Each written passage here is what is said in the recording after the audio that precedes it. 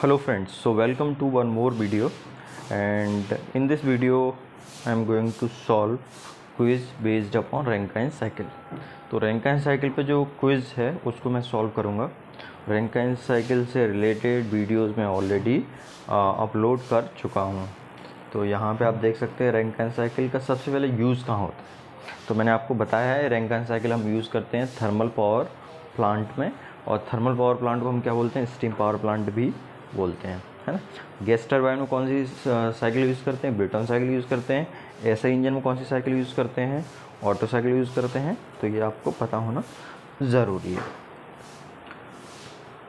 अब इसमें लिखा है which thermodynamic cycle use in steam power plant ये तो उसका रिवर्स हो गया।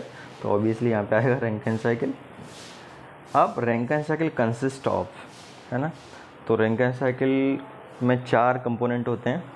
ठीक है बॉयलर है स्टीम टरबाइन है कंडेंसर है और फ़ीड पंप है, ठीक है? तो यहाँ पे दो जो प्रोसेस होती हैं, वो आइसोबैरिक होती हैं और दो जो प्रोसेस होती हैं, वो होती हैं आपकी आइसेंट्रोपिक ठीक है? आइसोबैरिक किस किसमें होती हैं? कांस्टेंट प्रेशर कहाँ पे रहता है? एक तो कांस्टेंट प्रेशर रहता है आपका बॉयलर के अंदर, ठीक है?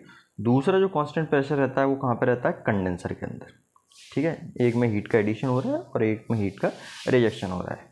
ठीक है? तो isobaric heat addition isobaric heat rejection हो रहा है। अब प्रेशर बढ़ता है या कम आइसेंटोपिक प्रोसेस कहाँ हो रही है? आइसेंटोपिक प्रोसेस हो रही है आपकी फ़ीड पंप में। दूसरी आइसेंटोपिक प्रोसेस हो रही है आपकी टरबाइन में। ठीक है? तो इसका जो आंसर है वो होगा D which of the following conditions Rankine cycle gives higher efficiency ठीक है किस साइकिल में रैंकाइन किस कंडीशन में रैंकाइन साइकिल की इफिशियंसी ज़्यादा मिलती है? तो इसका सीधा सा आंसर है रीजनरेशन साइकिल रीजनरेशन में क्या होता है? बेसिकली मीन टेम्परेचर पर हीट एडिशन बढ़ता है और मीन टेम्परेचर पर हीट एडिशन बढ़ने से इफिशियंसी भी बढ़ जाती है। अब इसमें दिया है रैंकाइन साइकिल में heat rejection Rankine cycle heat rejection obtained from the तो ऑब्वियसली कंडेंसर ठीक है, ये चारों कंपोनेंट का आपको पता होना चाहिए। हीट का एडिशन बॉयलर में होता है हीट का रिजेक्शन कंडेंसर में होता है वर्क कहाँ सप्लाई करते हो पंप में और वर्क आपको मिलता है कहाँ पे? टरबाइन में। हाँ अब इसमें लिखा है हीट इनपुट तो ये तो वही आंसर हो गया, मैंने अभी बताया था बॉयलर में। फिर दिया ideal Rankine cycle is reversible obviously ये रिवर्सिबल होती है मतलब रिवर्सिबल कंसीडर करके चलते हैं। अंडर फेस चेंज हाँ फेस चेंज होता है। पंप में क्या पंप क्या हैंडल करता है? लिक्विड को हैंडल करता है और आपका टरबाइन में क्या होता है? वेपर है। तो ऑब्वियसली फेस चेंज होता है इसमें। Which path is followed in a vapour power cycle ठीक है तो इसमें पाथ पूछा है। तो ऑब्वियसली बॉयलर टरबाइन कंडेंसर और पंप ठीक है, ये फॉलो करते। For a vapour power cycle ठीक है net heat input is converted into net work output, ठीक है? और क्यू वन माइनस क्यू देखो, net heat input is converted into net work output, ये फ़र्स्ट लॉ ऑफ़ थर्मोडाइनमिक्स है, ठीक है? तो ये तो ऑब्वियसली होगा ही मतलब हर साइकिल में होता है, चाहे कोई भी साइकिल हो, उसमें net heat input will be equals to net work output, ठीक है?